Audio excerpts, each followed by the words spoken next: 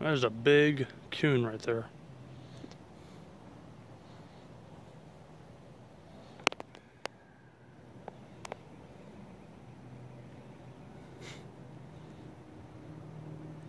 I let the french fry out, that's why.